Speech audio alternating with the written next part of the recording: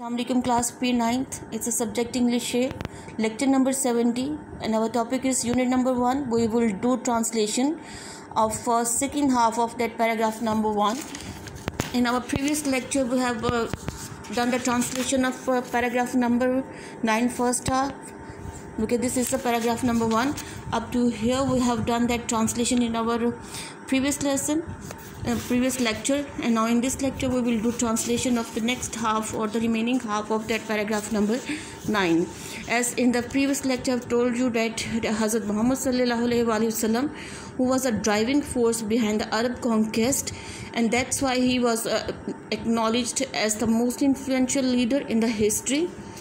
Now we have uh, re, uh, we will start from here this paragraph यहाँ से हम शुरू करेंगे अपने पैराग्राफ को कि हज़रत मोहम्मद सल्लल्लाहु अलैहि वसल्लम ऊपर तो आपने ये पढ़ा था ना कि हज़रत मोहम्मद सल्लल्लाहु अलैहि वसल्लम जो थे अहम कुत थे अरब की फतूहत के पीछे, इसकी वजह से उनको हिस्ट्री में किस किस तरीके से, किस हैसियत से जाना जाता है, एक सबसे ज़्यादा बासर शख्सियत के तौर पर उनको तारीख में जाना जाता है। और उनके बारे में एक राइटर जो, जिसका नाम था माइकल हार्ट, और and who was the Michael Hart he was a great historian एक अजीम मौरख था। ग्रेट किसे कहते हैं? अजीम को। एंड हिस्टोरियन मौरख। मौरख mean the person who writes a history वो शख्स जो कि तारीख को, तारीख लिखता है, उसे हम क्या कहते हैं? मौरख तारीख दान या फिर आप historian in English it is called so in the other words दूसरे अल्फाज में of Michael Hart Michael Hart के ही अ ग्रेट हिस्टोरियन जो कि अजीम, मौरख था, उसके, उनके अल्फाज में उन्होंने कैसे डिस्क्राइब किया है हज़रत मोहम्मद अलैहि वसल्लम की शख्सियत को? कि मोहम्मद अलैहि वसल्लम however was a responsible for both the theology of Islam and its ethical and moral principles के मोहम्मद अलैहि वसल्लम हो एवर ताहम वॉज़ थे रिस्पॉन्सिबल हेयर मीन जिम्मेदार थे फॉर के लिए बोथ दोनों के लिए, दोनों के लिए ज़िम्मेदार थे। द थियोलॉजी थियोलॉजी मीन अकायद। ऑफ़ इस्लाम इस्लाम के अकायद के लिए एंड इट्स इट्स मीन इसके मेन अहम और इसके अहम एथिकल इखलाकी एंड मॉरल और इसलाही प्रिंसिपल मीन असूलों के लिए कि मोहम्मद सल्लल्लाहु हो एवर ताहम वॉज़ रिस्पॉन्सिबल ज़िम्मेदार थे फॉर बोथ दोनों के लिए in the theology of Islam इस्लाम के अकायद के लिए and its main ethical and moral principle और इसके अहम इखलाकी और इसलाही असूलों के लिए। तो idiomatic translation will do like this कि हज़रत मोहम्मद अलैहि वसल्लम दोनों के लिए, यानी इस्लाम इस्लाम के अकायद और इसके अहम इखलाकी और इसलाही असूलों दोनों के लिए ज़िम्मेदार थे। आई एम रिपीटिंग दैट कि हम हज़रत मोहम्मद अलैहि वसल्लम इस्लाम के अकायद और इसके अहम इखलाकी और इसलाही असूलों दोनों के लिए तहम वो ज़िम्मेदार थे। इन एडिशन इसके अलावा ही प्लेड ही प्लेड उन्होंने, प्लेड हेयर मीन अदा किया। अ की रोल की रोल हेयर मीन अहम किरदार। इन प्रोसलिटाइजिंग तबलीग करने में प्रोसलिटाइजिंग हेयर मीन तबलीग करना। In the new faith, new mean नए फेथ दीन की, नए दीन की तबलीग करने में उन्होंने की रोल प्ले किया, अहम किरदार अदा किया। And in establishing in establishing और कायम करने में इन हेयर में एस्टैब्लिशिंग कायम करने में द रिलीजियस रिलीजियस मजहबी प्रैक्टिस मीन रसूमात प्रैक्टिस कहते हैं ना रस्म को it's a plural word practice रसूमात क्यों?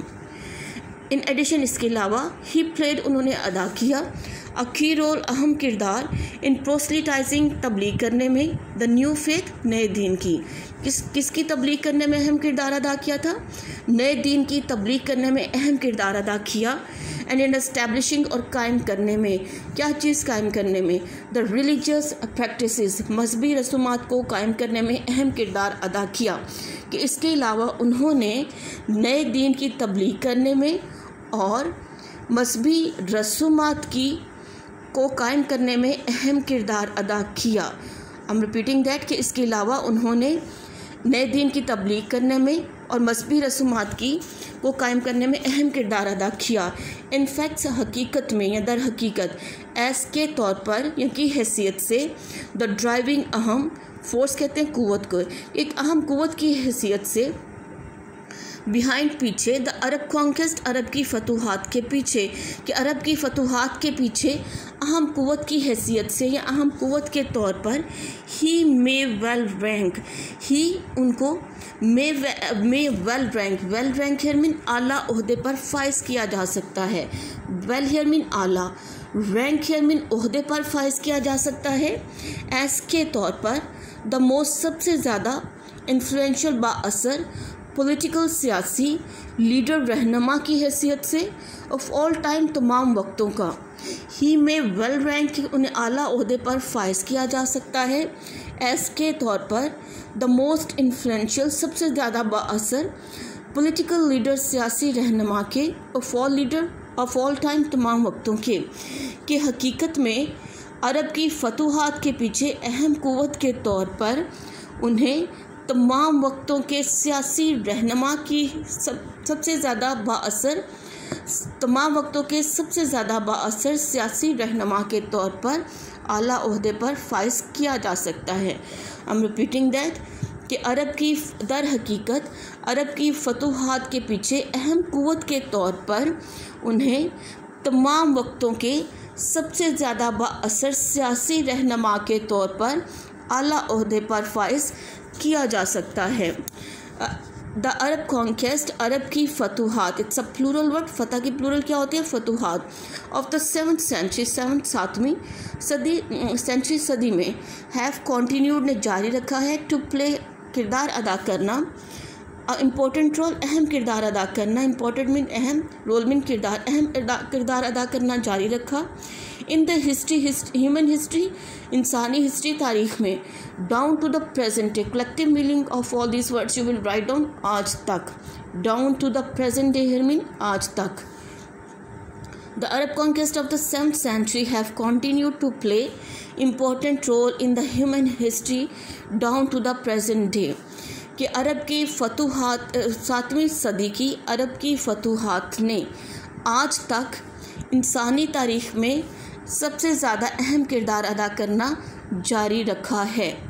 You put the mark up to here up to here you people will learn words meaning and translation in Urdu first of all you will learn and then you will write down that words meaning and translation on your neat notebook pre ninth. And along with that i'm also telling you this is the book uh, it's a key book of english.